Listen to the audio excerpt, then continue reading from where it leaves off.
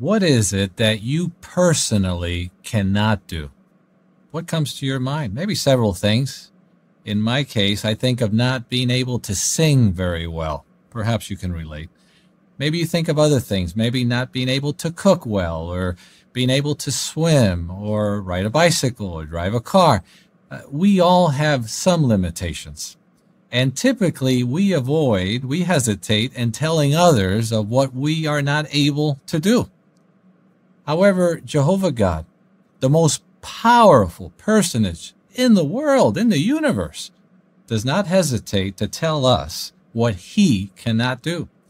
He inspired the Apostle Paul to write it in the Bible. And we'd like to invite you, please, to look up Titus chapter 1. Under inspiration, the Apostle Paul mentions what God cannot do. It says, that's chapter 1 of Titus, verse 2, and is based on a hope of the everlasting life that God, who cannot lie, promised long ago. So God cannot lie. He's never lied and never will. Now, according to some sources, the average person lies about two times every day. So in a year's time, that's hundreds of lies. But Jehovah God has never done it.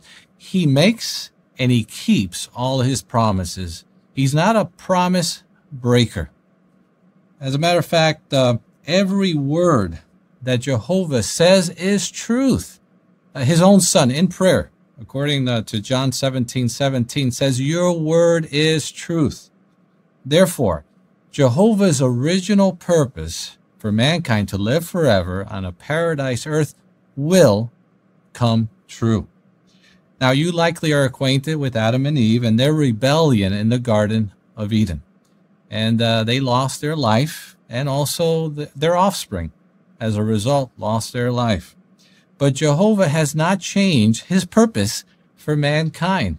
It will come true. He is the God who cannot lie. Now, understandably, this may be hard to believe when we see the conditions uh, worldwide. Uh, death is seen on a large scale with pandemics, sicknesses, natural disasters, and so on. And sadly, because of this, many have lost their faith in God. So here's a question. In view of these present conditions, can we still trust in God's promises made a long time ago? As mentioned in the theme of this talk, can we really exercise faith in God? Some say yes, others say no. And the answer really depends on whether we believe God or not when He says that He cannot lie. This talk will strengthen our faith, our trust in God. So, where should we start? Well, think of a sports event and a controversial play occurs. And then there's two teams. One team says, well, it happened this way. And then the players of the other team say, no, it happened this way. How do we come to the truth? How do we know what the truth is? Well, nowadays, in many of these games, they have a video replay. And only when you see that video replay in slow motion can you decipher, determine what really happened and the referee who knows the rules of the game can make the right decision.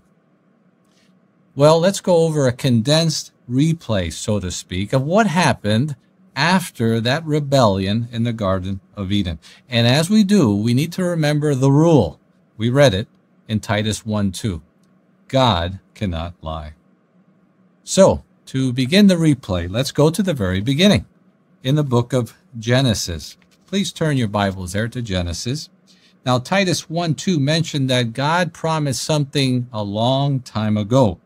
And let's look at one of these promises in uh, verse 15 in particular. That's chapter 3, verse 15. Uh, you may want to put a bookmark here because we will be returning to this particular promise found in Genesis 3:15.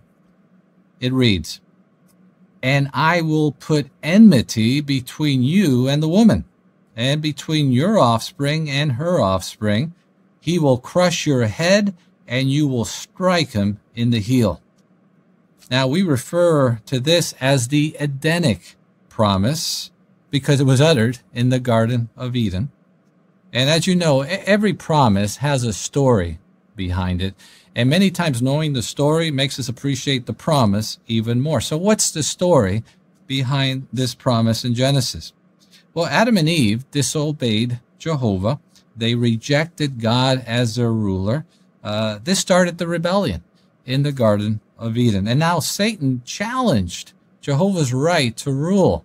In effect, made him look a lot like a liar in front of Adam and Eve and in front of all the spirit creatures in heaven. So, how would Jehovah respond to this, to his challenge? Well, immediately after the rebellion, he makes a promise. Uh, we just read it in Genesis 3:15. Basically, a promise to undo everything that Satan was planning uh, to cause for mankind. He's basically saying everything will be all right. Um, I have my solution. My purpose will not change. After all, I cannot lie. So, in connection with this prophecy, let's look at it again. Genesis 3:15 and let's briefly review it. You notice uh, who is speaking? Well, the pronoun I refers to Jehovah. To whom is he speaking? There's a you. Uh, this is Satan disguised as a serpent.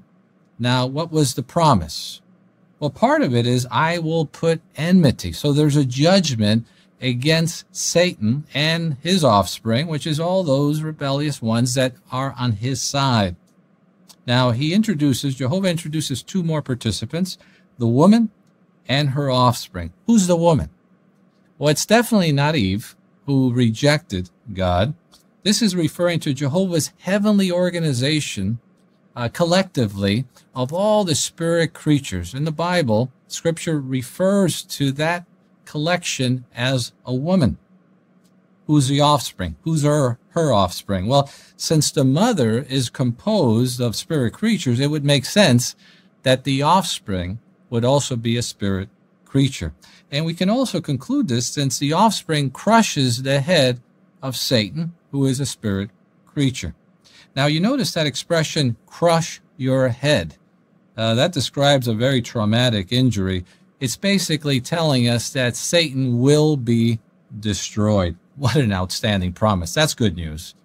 Uh, what does this promise teach us about Jehovah? He doesn't give up easily on mankind. He didn't give up on us, did he?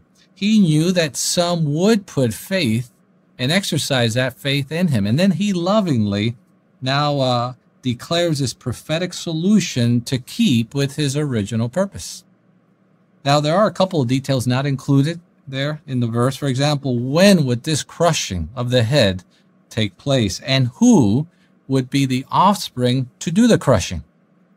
Well, the answers to these questions were a secret for a long time. As a matter of fact, the Bible refers to it as a sacred secret. But Jehovah, though he was alone and knowing all the details, he's, he's a God of love. So he wants to reveal the details, and he did so progressively. Throughout the centuries, Jehovah made a number of what the Bible refers to as covenants or agreements with faithful men. And each of these covenants provided more details as to the identity of that offspring mentioned in Genesis 3:15. For example, about 2,000 years after that rebellion in Eden, Jehovah makes a covenant with the faithful man Abraham. It's found here in Genesis chapter 22. If you can turn there, please. Genesis chapter 22. But before we read the promise, remember, there's always a story behind every promise. So, what's the story here? Well, Abraham proved faithful to Jehovah. Remember how he was obedient to a very challenging request from Jehovah God, not a matter of not eating from a tree, but much more difficult to sacrifice his son, his only son, Isaac. And he was obedient. He was about to sacrifice him. An angel stops him. Now, because of that willingness, that obedience, uh, Jehovah now adds a, a promise, makes a promise, a covenant with him, and in that covenant provides more details in connection with the promise in Genesis 3:15. Let's read it together.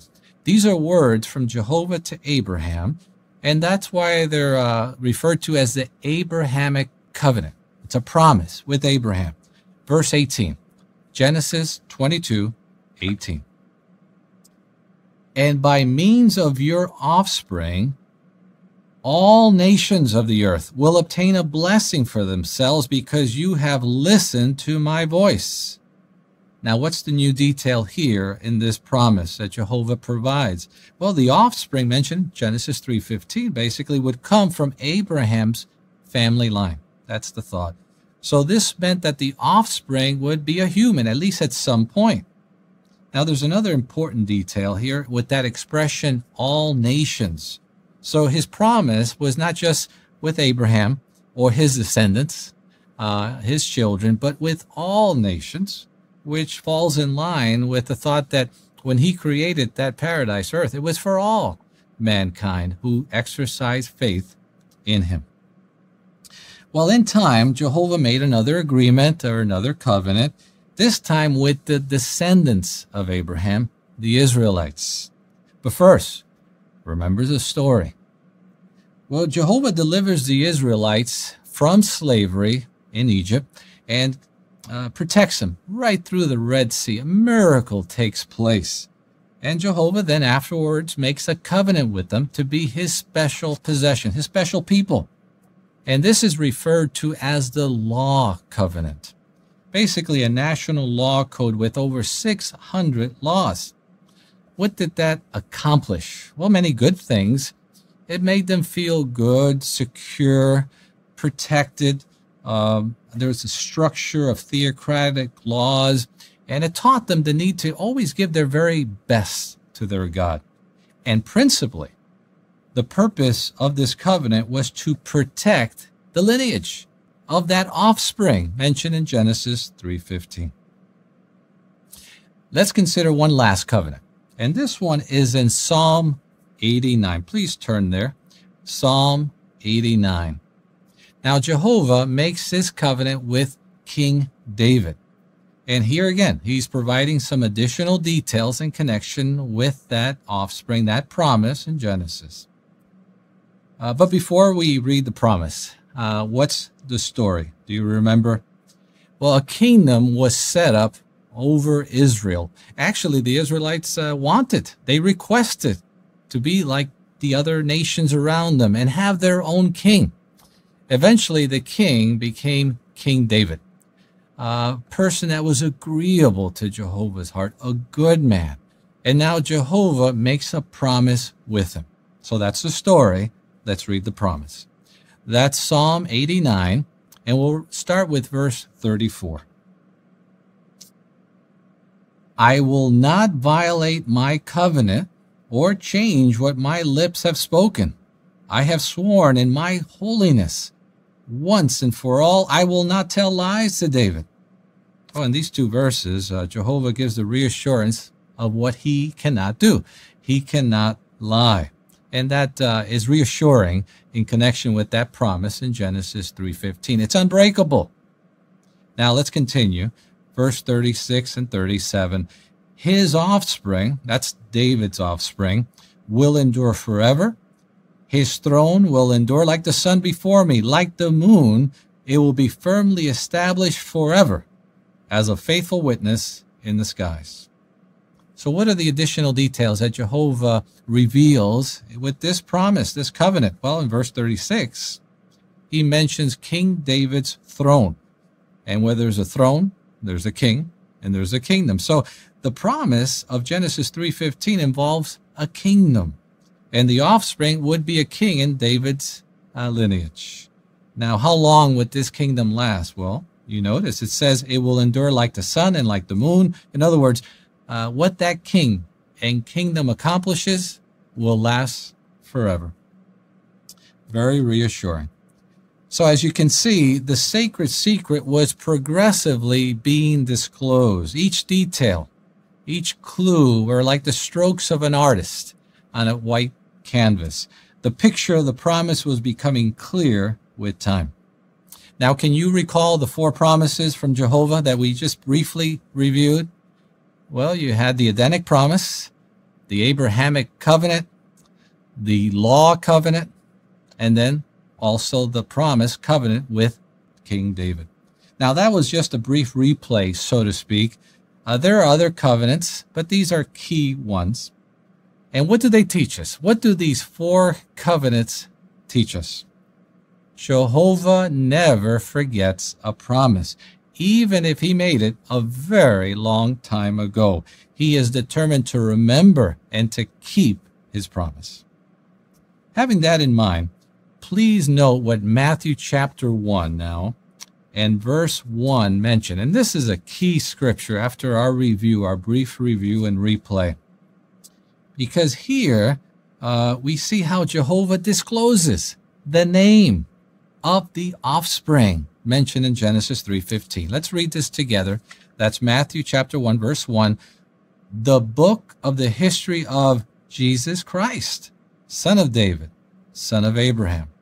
So that promised offspring, as we've discussed with the covenants, was going to be a son of Abraham, son of David. But now the specific name is given, Jesus Christ. That's the principal part of the promised offspring in, mentioned in Genesis 3.15.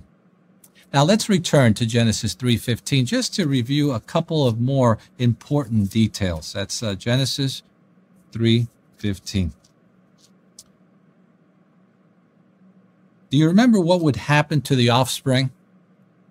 Well, it mentions, uh, if you notice the last sentence of that verse, that he, uh, the offspring, now we know it's Jesus, it says, will crush your head and you will strike him in the heel. Have you ever been injured in your heel? That's painful, bothersome. However, it's not fatal. Uh, we usually recover from that type of injury. So, what was our God of prophecy illustrating with that expression? Well, please turn now to 1 Peter chapter 3. 1 Peter chapter 3, and we'll read verse 18. Because the thought here is that it would not be a, a permanent injury. Jesus' death would not be permanent. Let's read this together. 1 Peter chapter 3, verse 18. Do you have that?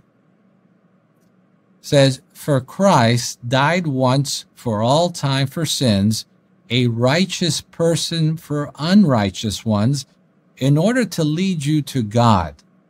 He was put to death in the flesh, but made alive in the spirit. So Jesus was struck in the heel when he was put to death, but was made alive in the spirit with the resurrection. So this made his death appear as a mere striking of the heel. Now, now in heaven, Jesus uh, wants to prove again that his Father cannot lie. He is eager to crush the serpent's head. And how would this be done? Well, as the offspring, he's now the king of God's kingdom. And as a king, he has the authority now to do that fatal crushing.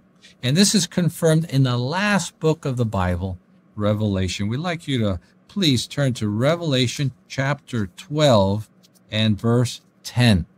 Now, in this verse, uh, we'll read two important events that took place in heaven. Revelation 12:10 reads, I heard a loud voice in heaven say, Now have come to pass the salvation and the power and the kingdom of our God and the authority of his Christ because the accuser of our brothers has been hurled down, who accuses them day and night before our God. Did you notice at least two important events? One, Jesus here is receiving the authority in Jehovah's kingdom. And second, Satan is thrown out of heaven. Both of these events took place in 1914, according to Bible prophecy. Therefore, Christ is now ruling as king with the authority to crush Satan's head. And he's patiently waiting for that perfect time when Jehovah tells him to fulfill uh, his promise that was made a long time ago. And isn't that what we're all waiting for? We're looking forward to the fulfillment of that prophecy, the vindication of Jehovah's sovereignty. We want to enjoy that original purpose of living forever on earth, on a paradise earth. You know, that paradise scene seems distant at times and maybe a little foggy and unclear, like uh, this painting. Uh, we sort of see it, but it's a little foggy. But we're confident, see, because Jehovah cannot lie. He will eliminate all the fog. He will eliminate Satan, his offspring, and then we'll enjoy this beautiful paradise on earth. Uh, we believe it because we remember the rule God cannot lie. Therefore, in view of what we've considered, be assured you can be certain that Jehovah will always keep his promises towards you and fulfill them beyond all expectations. The more you learn about Jehovah, the more your faith, the more your love grows. And what a beautiful thought. Our love for Jehovah can grow as we gain more knowledge about him and his beautiful personality. Uh, just as a simple illustration, as an example, think of a man who, for the first time, declares his love towards his girlfriend. That's a special moment. And he tells her, I appreciate you. I've come to love you. Uh, those words, I love you. Now, why is he able to declare that? Well, he's gotten to know her. See, he's gained knowledge about her, her personality. He's seen her with her family in different settings. And now he comes to that conclusion I love you. But how about if she doesn't respond in the same way? And maybe she'll say, Well, thank you. That's very nice. I appreciate you too. What happened? Well, apparently she was not ready uh, to declare her love. Maybe she still needs to get to know him a little better to reach firmly that feeling and, and love towards him. Hopefully she will. But what's the point? Uh, Jehovah is always the first to say, I love you. He's the first one to express that to us. The question is, how do we respond? Do we think, well, yeah, that's nice and that's good? Or are we in love, so to speak, with Jehovah? See, the way we get to love Jehovah, not just intellectually because it's the right thing to do, but because we feel it. We love him and his person and his personality is by getting to know him. See, the more knowledge we acquire, uh, we'll get to feel that feeling of love. We get to know Him by reading the Bible. We get to know Him by creation. We connect the dots and His qualities. We pray to Jehovah regularly. We see His response to our prayers. And yes, we study the Bible. So, learning about God increases our love for Him. And that also helps us to make changes in our life for the better. He will never let you down. Just as an example, let me share a brief experience about Israel Martinez. Uh, he struggled with feelings of inferiority, self-worth. He explains that when he was little, he, his father became an alcoholic, and that affected his uh, family life very negatively. He says this, uh, as children, we started smoking cigarettes when I was just six years old. I got drunk for the first time. When I was 10, a man invited me to work with him at the city garbage dump. I accepted the offer, quit school, left home.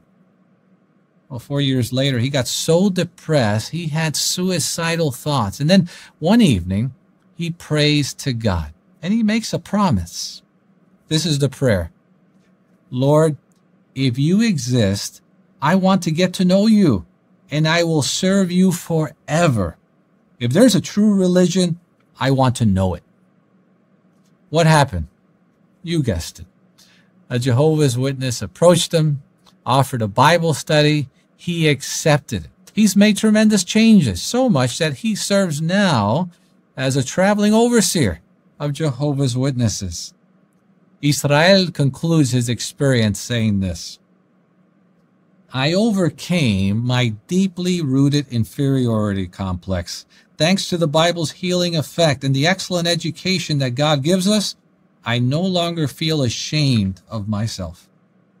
See, Bible education helped change his life. He grew in his love towards his father Jehovah by learning more about him. This man's faith in God and his love for him motivated him to make a promise to him, to dedicate himself to God. That's what he promised in the prayer, and he fulfilled that promise, and he's happy now. You can do the same. See, dedicating ourselves, our lives to Jehovah is the best promise we can ever make. nothing will bring you greater delight. And interestingly, when we make that promise to Jehovah, in return, he makes another promise towards us to help us keep our promise. And that's so reassuring. Uh, please note this scripture in Isaiah chapter 41, because Jehovah wants to help us to live our life in accordance to his will. That's uh, Isaiah chapter 41. Notice his promise that he will help you overcome any problem. And as we read this verse, try to imagine that God is speaking directly to you, directly to you. In verse 10, that's Isaiah 41 10. Do not be afraid, for I am with you. Do not be anxious, for I am your God. I will fortify you. Yes, I will help you. I will really hold on to you with my right hand of righteousness. What a beautiful promise uh, from the God who cannot lie. You know, one married couple loves this scripture so much, they've cut it out and put it on the refrigerator door. And uh, he, the husband says this When things are particularly difficult, I read the verse and it makes things easier. These words encourage me not to be afraid what especially strengthens me is Jehovah's assurance that he is beside me so close that it is as if his right arm is hugging me like a close friend. This promise we just read is trustworthy. See, Jehovah will reward you for earnestly seeking him. So continue with your studies of the Bible with Jehovah's Witnesses. We urge you to. And if you're not yet studying the Bible, uh, we encourage you to approach a Jehovah's Witness and start your Bible studies or go to the jw.org website and request a home Bible study. Jehovah promises to help you. Do not be afraid. Now, as we read earlier, Jehovah told faithful Abraham, and by means of your offspring, all nations of the earth will obtain a blessing for themselves. Yes, those who exercise faith in God and put their life in Jehovah's hands will be among those who receive a blessing. You too can receive that blessing. It's true, we all have limitations, and sometimes we hesitate to tell others about those limitations. But Jehovah proudly tells us of what he cannot do. He's never done and never will. He cannot lie. He is not a promise breaker. May we be among those who will see the complete fulfillment of Genesis 3:15. That promise. We look forward to the elimination of Satan, his offspring. We look forward, yes, to living in paradise on earth forever. You can be there. We all can be there. How? by exercising faith in the God who cannot lie.